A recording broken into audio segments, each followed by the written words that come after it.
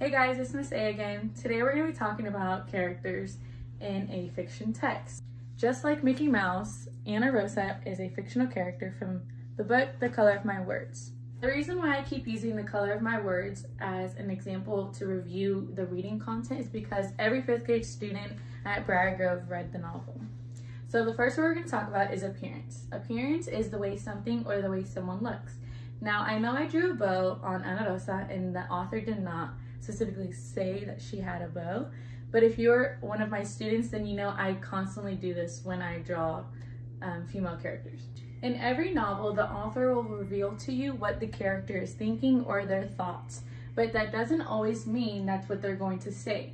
Their dialogue, what the character says, can be different from their own thinking.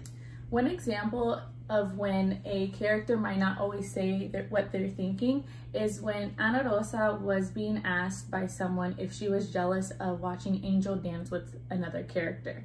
She denied it, and we clearly know that from reading the novel, she was in fact jealous because she was in love with him.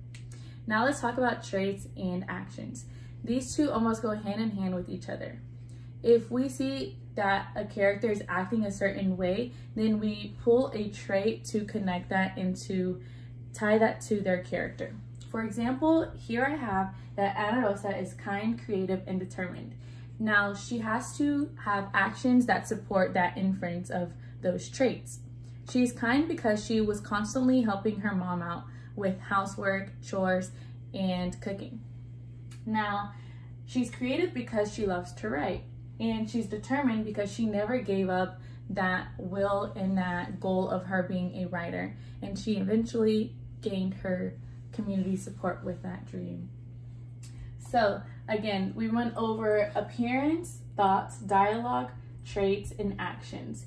These all come together and is what makes a character who they are in a novel.